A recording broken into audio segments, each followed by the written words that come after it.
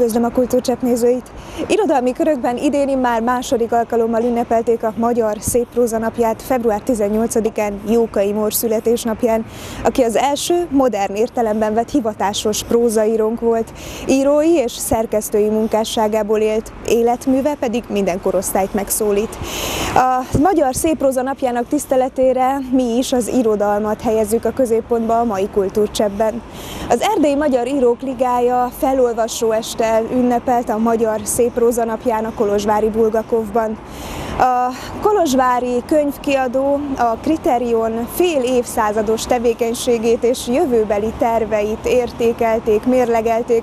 A Kriterion 50 fél évszázada a Nemzetiségi Kultúrák Szolgálatában című kerekasztal beszélgetésen. A hét elején pedig Artisius irodalmi díjban részesült Markó Béla. Ti hogy viszonyultok Jókaihoz, ha már ugye az ő nevéhez kapcsolódik a Magyar Széppróza napja. Irodalmi körutunkat az Erdélyi Magyar Írók Ligájának estjén kezdjük, ahol Fischer Botont, Horváth Bendzsi és Márton Evelin voltak a meghívottak, a házigazda szerepét pedig Karácsonyi Zsolt töltötte be. A Magyar Írószövetség kezdeményezésére tavaly február 18-án a Kárpát-medence szerte először ünnepségsorozatokkal tisztelektek a magyar szépróza előtt Jókai Mor születésnapján. Johann, ha nagyobb lesz, és már elmegy indulni egyedül, mert ismeri annyira a térképet, hogy ne tévedjen el, akkor néhányszor lemegy majd a tengerpartra, ami két kilométerre van innen, mert kíváncsi a napfelkelte színeire is. Talán igazságtalannak tartotta, hogy az ég legtöbbször kék, mint most is. Ahogy itt fekszik a fűben és a felhőket bámulja, azt játsza, hogy mire hasonlítanak. De ritkán bordó vagy vörös, még ritkábban lila, és még annál is ritkábban rózsaszínű a versnek és a drámának már korábban is, már évtizedek óta volt saját ünnepe, tehát időszerű volt, hogy az elmúlt évben elinduljon a Magyar Szép Próza napja is, és bár mostanság ugye a, a próza amolyan irodalmi húzó számít nem csak a magyar irodalomban, hanem gyakorlatilag világszerte, azért a ünneplés és a kedélyes elbeszélgetés az mindig is fontos, és az kiemeli azt, hogy itt nem csak könyvkiadásról, nem csak terjesztésről, nem csak szerzőknek a megismertetéséről, vagy a jobban, mélyebben való megismeréséről van szó, hanem arról, hogy valóban ünnepeljük azt, ami a miénk, hogy a próza az egyben szép próza is, és miközben igen erősen oda tud figyelni a kortárs eseményekre, még hogy áttételesen is, azért az esztétikumhoz is igencsak sok köze van, és a szép kategóriájához. Nem szoktam szeretni ezeket az, az ünnepdömpingeket, de úgy gondolom, hogy mégis oka és célja van annak, hogy a Magyar Szép Róza napját is megünnepeljük most már második éve. Úgy gondolom, hogy az a célja az ilyen ünnepeknek, hogy valahogy ráirányítsa az emberek figyelmét arra, hogy hoppá, itt még próza is van, és talán olvasni még mindig jó. És a másik dolog az, hogy nem véletlenül a Jókai Mor születésnapját választották a Magyar Szép Próza napjának, hát elvégre ő tette le úgymond a magyar klasszikus próza alapjait, vagy annak a, hát igen, végig a klasszikus részét, amihez hát mi is viszonyulunk mind a mai napig valahogyan. Én például szívesen olvasom, bár bevallom őszintén, hogy mindig fárasztott egy kicsit, tehát túl romantikusnak találtam a stílusát, de ettől függetlenül. És olvasni jó, jókait is. Legyőztetek, állt azon a felszín, amelyet Alois kiaszott hullája tartott az ujjai között. Suplóján és alkarján apró mart sebek. Fajában ezernyi szőrös lábú kispók tanyázott, és körmei alatt megfeketedett a hús. A fecimvel együtt névruha egy bőrdarabot is eltávolított a hulláról legyőztetek, olvasta hangosan, és minden elsötétült. Nagyon-nagyon szépnek látom az erdélyi magyar szép prózát, és nagyon örülök neki, hogy egyre több, többen írnak prózát. Azért, hogyha nagyon mélyen belenyúlunk ebbe a kérdésbe, és megnézzük, hogy akkor ki mit ír, akkor talán még mindig a költők javára billenne el a mérleg, de úgy látom, hogy egyre többen bátran nekivágnak a prózának is, ami szerintem ugyanolyan szép és kifejező műfaj, mint a költészet, és vannak emberek, akik alkatilag szerintem egyszerűen arra termettek, hogy prózát írjanak. Nagyon örülök annak, hogy egyre több női szerző van, fiatal női szerző, aki prózát nem hogy ír, hanem hogy kiadni ismeri, és elküldi folyóiratoknak, sőt egyeseknek talán kötetük is lesz, úgyhogy ennek, ennek igazán örvendek. Úgy gondolom, hogy egy nagyon-nagyon színes préri van itt Erdélyben, ahol bármi megtalálható, tehát akár a science fiction-től bármeddig elmehetünk, tehát hogy ez ugyanolyan széles paletta, mint mit tudom én, egy nagyobb merítésű magyar irodalom. Tavaly Erdélyben három helyszínen szerveztünk szép próza napi eseményeket, és szert a Kárpát-medencében ugye több mint fél száz rendezvény zajlott. Az idei, a második év kicsit visszafogottabb, ahogy látom, de a terveinkben szerepel az, hogy, hogy ahogy a költészet napi ünnepségeket is akár több helyszínen tartjuk meg rendszeresen, vagy nem csak Kolozsvár, hanem akár más helyszíneken, úgy ez a továbbiakban is a terveink között szerepel. Miklós kedvetlenül köszön, elveszi a kulcsokat és megkezdi az éjszakai váltást. Bámulja a biztonsági kamerákat, olvasgat, és amikor nem bírja tovább, bár munkaidőben tilos, a gyárban nem mert már emberemlékezet óta beszélni senki, előveszi a lúpert. A nagy trón mögül előjön egy arctalan zsákzalándok. Miklósban hol bizalmat, hol bizalmatlanságot ébreszt a jelenléte. Valami portrét a mágiára, amitől a sisterek veszik rákat szól. Ki vagy te, hogy ide jöttél? kérdezi. Miklós válaszolni próbál, de nem jön ki hang a torkán. A zsákzarándok csontos kezével megsimogatja. Kutyák morbulnak fel. Ez a szék az Úristen széke, azért, aki megfejti a végső titkot. Miklós érzi, hogy nagyon akarja azt a titkot, hogy a nyelvén van a megfejtés, bármi is legyen az. A zsákzarándok erre megöleli. Jó, hogy eljöttél, fiam. De nem csak ott voltunk az első 20 esztendőben, hanem, hanem még azért valamennyire eszünkben is vagyunk. Most kéne elhangozzanak azok a, a kritikai észrevételek, azok a, az összefoglaló jellegű szempontok, azokat föl kéne vetni, hogy, hogy valóban mi is volt ez az intézmény? Fél évszázada a Nemzetiségi Kultúrák Szolgálatában címmel a Kolozsvári Kritérium könyvkiadó megalakulásáról a kommunista időszakban kifejtett, majd a rendszerváltást követően folytatott tevékenységéről beszéltek olyan személyek, akik valamilyen szinten kötöttek a kiadóhoz. Ma már a történészek elmondják, hogy a 70-es évek elején már a Ceausescu mini forradalma tulajdonképpen egy ilyen hát ideológiai merevedést hozott el, és, és dogmatizálódást. De tulajdonképpen a kritérium esetében elmondhatjuk azt, hogy, hogy legalább még tíz évet tartott az a szellemi erjedés, érés, amikor nagyon fontos munkák jelenhettek meg. És még utána is jelentek meg, már sokkal nehezebb körülmények között.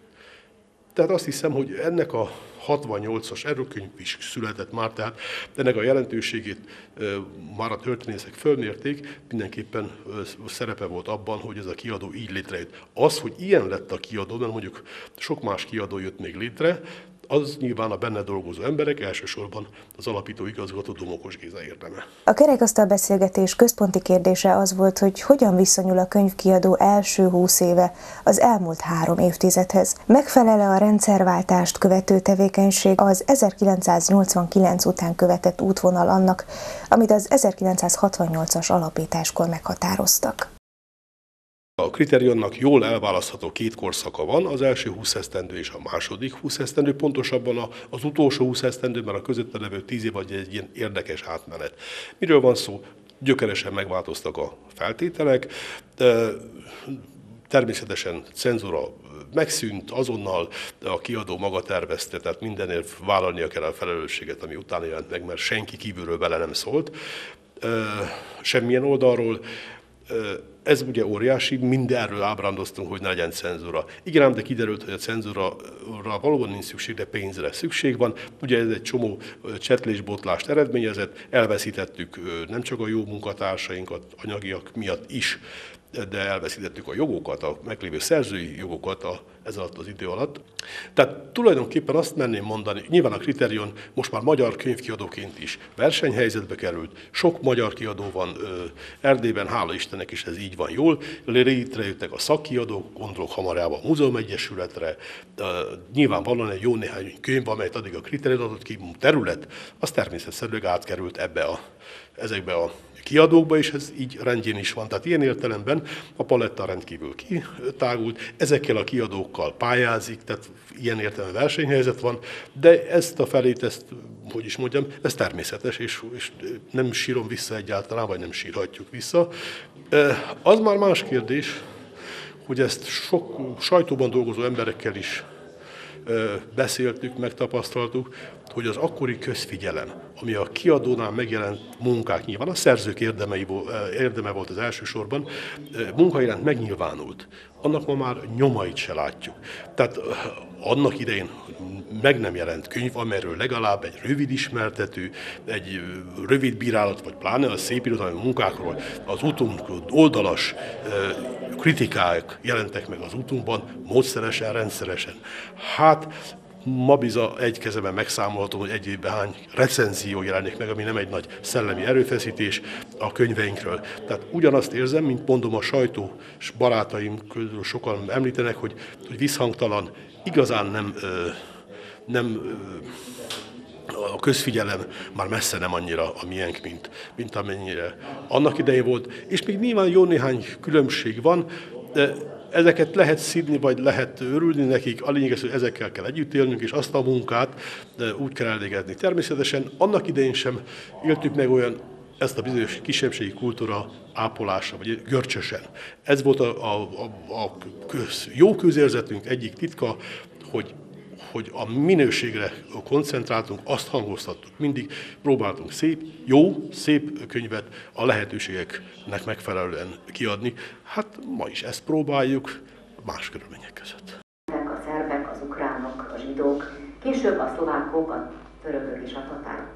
A Magyar Művészeti Akadémia támogatásával 2018. augusztus és december között Simonfi Katalin televíziós szerkesztő vezetésével 13 videóbeszélgetés készült a Kriterion alapítóival, egykori szerkesztőivel, egy történetileg is átfogó, elemző Kriterion dokumentumfilmhez megkeresni mindazokat a személyeket, akik még életben vannak, és akik a kezdetektől ott voltak. Nos, ez a kép rendkívül érdekes, mert hiszen hiába volt olyan kérdéscsomagom, ami a Kriterion 90 utáni életére vonatkozott, mindenki visszatért ahhoz a boldog állapothoz, amikor nagy családként a nemzetiségi kiadók együtt működtek Bukarestben. Tehát számomra ez volt a legizgalmasabb, hogy mi maradt fent az elmúlt 50 évből, az első 20 évből a kriterionról. Mert számomra az egyik leg, legizgalmasabb és legkeservesebb interjú Domokos Géza fiával készült. És megmondom, hogy miért. Mert a kérdést úgy tettem föl, hogy hát annak reményében, hogy ugye ott nőnek föl a két fiú, a, a nagyon, nagyon szeretetre méltó, nagyon kedves, a közösség számára példamutató embernek a közelében, és ez a két gyerek, és pontosabban Péter, akit megszólaltattunk, ez nem tudott egyetlen egy olyan mozzanatot se elbeszélni, elmondani az életéből, amiben az apja igazán jelen volt. Tehát nem emlékezett, a visszaemlékezéseiből uh, tudott az apjáról valamit elmondani. Tehát nincsenek családi emlékek, nincsenek nyaralási emlékek, nincs, nincs semmi, tehát hazajött és fáradt volt. Ez többször is elhangzott. Fáradt volt, kimerült volt, az édesanyjával megbeszélték a dolgokat, és utána pedig elvonult magának és lefeküdt. Na most ezek a gyerekek, a mi gyerekeink is tulajdonképpen nagyon keveset nyertek, mi belőlünk profitáltak a mi jelenlétünkből, mert mind a ketten rohantunk erre, arra, ki a kriterionnal, ki a, a televízióval. Na most a kérdésem az, hogy, hogy, hogy milyen érdekes volna, én egyébként, ha film, film készülne róla, akkor megkérném, hogy rajzoljon egy portrét az apjáról. Tehát ez volna számomra a legrelevánsabb, hogy hogyan tudja megrajzolni ennek az embernek, a, ennek a rendkívül színes és rendkívül izgalmas embernek a, a képét. És akkor, amikor a 70-ben megteremtődött a lehetőség, akkor az annak rendkívül nagy jelentősége volt, hogy a kritérium körül kialakult egy olyan szerzőgárda, amelyik egyfelől, egyfelől kézi, fontos kéziratok sorát szállította a kiadónak, másfelől pedig bizonyos szempontból védő hálót is jelentett a kiadó számára, mert jelentős emberek voltak, akik különböző funkciókban voltak itt-ott, ott egyetemen jobbra-balra, és akikhez lehetett, és nem csak magyarok, hanem aztán ennek a 80-as években a, a román kapcsolatok szempontjából volt fontossága, mert, mert a román író társadalom részéről odaálltak ennek a román és a bibliotekák kritérium sorozathoz, aminek az volt a funkciója, hogy a, a kisebbségi irodalmaknak a legjobb műveit, nem csak szép irodalmat, hanem, hanem történelmi munkákat, néprajzot és a többi, és a többi, ezeket román fordításban megjelentessék. És akkor Domokos Géza fel tudott sorakoztatni ezeknek a köteteknek az előszavazóiként egy olyan rangos román értelmiséget, akire a román olvasó már csak azért, azért is odafigyelt, mert ő írta az előszót. Az idén fél évszázados Kolozsvári Kritérium könyvkiadó több rendezvénysorozaton keresztül szeretné feleleveníteni a kiadó munkásságának kezdeteit, részletesen megismertetni a Kriterion megvalósított terveit. Jó néhány rendezvényre gondolunk, szeretnénk ennek az itt felvillantott dokumentum film részt, dokumentumfilmeket megjelentetni nyomtatásban is, nem csak magyarul, hanem, hanem román fordításban is, illetve a román szöveget román eredetiben, valószínűleg németül is illene. Itt az el is hangzott, hogy ezt bizony meg kéne tegyük, én is így gondolom. Szeretném, hogyha a könyvgrafikáról tudnánk egy kiállítást nyitni, szerencsénkre jó néhány anyagunk megvan, tehát ezt, ugye ez is egy, egy iskolateremtő volt, vagy nagyon fontos volt, a Deák Ferenc nevéhez kötődik a, a hazai könyvgrafika egy újabb felvirágzása a 70-es évektől. Ugye rengeteg kolozsvári képzőművész dolgozott, hát szinte alig van most már ilyen 50-60 éves képzőművész, aki, aki ne illusztrált volna könyvet, ne tervezett volna a kriterionnak. Gondolkozzunk, törjük a fejünket, hogy mi volna az, ami, ami ezt a folyamatot, már úgy értem az 50 év visszaemlékedés, visszatekintő folyamatát minél érdekesebbé tudná tenni, minél több szempontból világítaná meg. Egyrészt a a kulturális intézmény, amely több önmagánál, mint az előbb mondtam, mert ebből a mai beszélgetésből is ezzel, hogy a kritérium lényegben több volt, mint, mint könyvkiadó, hogy, hogy ez minél inkább megmutatkozzon, nyilván a maga tanulságaival, egyrészt amit ma Horváth István elmondott, hogy hogy néz ki ez az ő szemszögéből, az ő intézmény, ami számomra nagyon izgalmas és, és érdekes volt. Tehát ezt a fajta egymásra figyelést kéne valahogy minél több formában. Ennek egy része a fordítás, de van, van az egymás felüli tájékozódás, ami nyilván mind gazdagíthat minket, és talán segít a dolgok megértésében is. A Kriterion idén decemberben ünnepli fennállásának 50. évfordulóját. Ez az év pedig arról kell, hogy szóljon, hogy a kiadó fél évszázados számvetését elkészítsék. Bocsáss meg Ginsberg. Igen, én is láttam nemzedékem legjobbjait, feltartott fejjel beleszimatolni a levegőbe, ahogy a kelet-európai kisvárosok izzadságszaga, az évszázadok óta poshadó szennyvíz, orfacsaró büdössége mögött megéreztük a távoli szélfúvást, a soha el nem jövő forradalom puskaporszagát, azt a sűrű, szédítő, összetéveszthetetlen illatot, amelytől mindannyian megrészegültünk.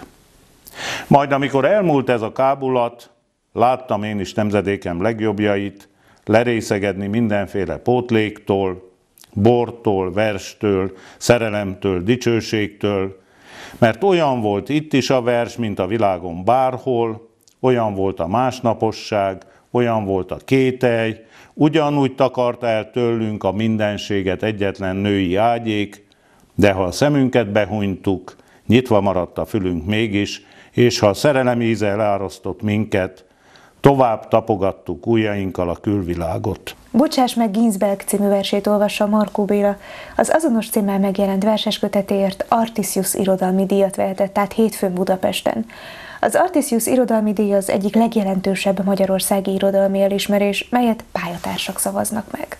Nem véletlenül hangsúlyozza mindenki azt, hogy ez egy szakmai díj, mert egyébként az természetes lenne, hogy egy irodalmi vagy művészeti díjat szakmai szempontok szerint ítélnek oda. De hát az utóbbi időben azért elég jól megfigyelhető volt, hogy a politika ebben is ott van. Tehát kormányzati vagy nem kormányzati szempontok, politikai egyensúlyozás, politikai mérlegelés van nagyon sokszor egyébként alkotói kitüntetések mögött.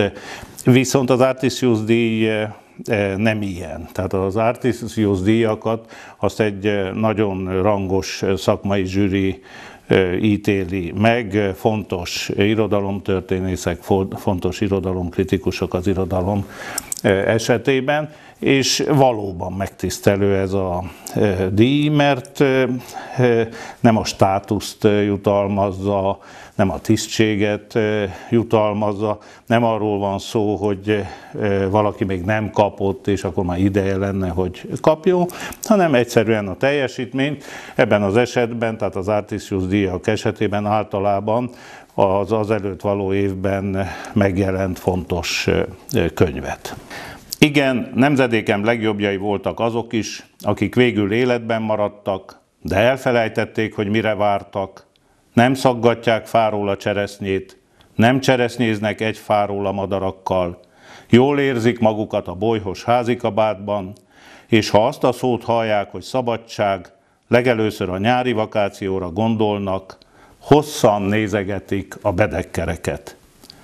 Igen, már nemzedékem legjobbjai is. Alig-alig néznek a csillagos égre, nem írnak dühös verseket, nem konspirálnak a zsarnok ellen, szakácsműsort vezetnek a televízióban, nagy élvezettel teszik-veszik a serpenyőket, villámgyorsan szeletelik a hagymát, és egy-egy incsiklandó falattal lenyűgözik a műsorba meghívott fiatal színésznőket, vagy az öregedő rockénekeseket.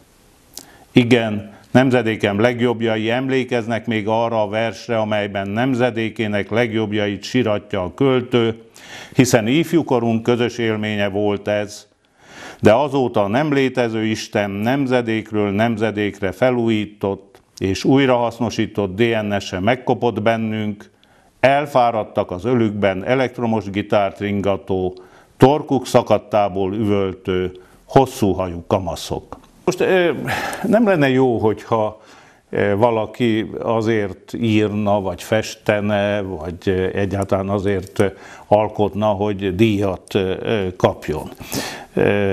Még csak az sem lenne jó, hogyha arra figyelne egy író vagy egy költő, hogy akkor az olvasónak mi tetszik, mi nem tetszik, hányan olvassák, vagy hányan értik azt, amit mond. De azért én az ellenkezőjében sem hiszek. Tehát az, hogy mondjam, önáltatás, hogy mi a maradandóságnak alkotunk, vagy az utókor majd megérti, hogy milyen eh, tehetségesek eh, voltunk. Én azt hiszem, hogy az alkotó ember az várja a visszajelzést, szüksége van a visszajelzésre, ez természetes is, hiszen mint mindennel egyébként, amit teszünk, az alkotással is, versel, prózával, eszével, másfajta műalkotásokkal hatni akarunk a környezetünkre, befolyásolni akarjuk a környezetünket, és szükségünk van arra, hogy visszajelzést kapjunk, hogy ennek van értelme, hogy, hogy tényleg befolyással voltunk, tényleg hatással voltunk a környezetünkre. Ilyen értelemben a díjaknak is ez a jelentőségük. Tehát az Artisius díj is egy visszajelzés, hogy odafigyeltek arra, amit például én letettem az asztalra. A Kaligram kiadónál tavaly megjelent kötet számvetés, személyes és közösségi leltár önfelmentés nélkül írják ajánlójában. Egyre többször nyúlok vissza a gyerekkori, kamaszkori vagy ifjúkori tapasztalatokhoz, és próbálom ezeket szembesíteni a jelennel.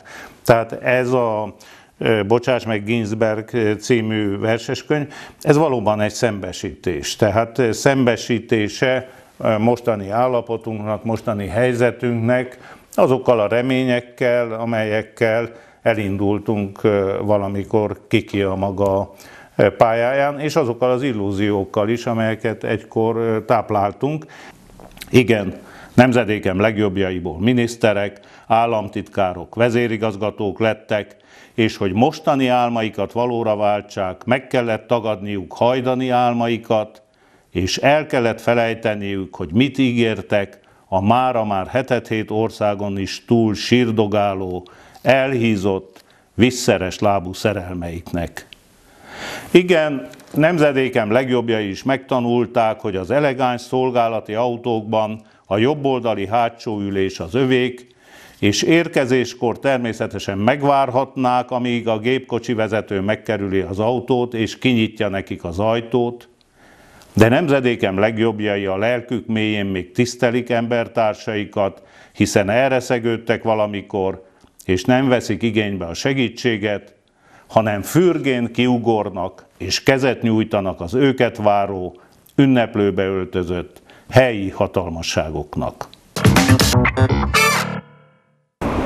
Köszönjük ma esti figyelmüket, amelyre számítunk jövő csütörtökön este fél kilenctől is, amikor majd az örökségünk őrei fogadj örökbe egy műemléket mozgalom néhány csapatával ismerkedünk meg. Tartsanak akkor is velünk!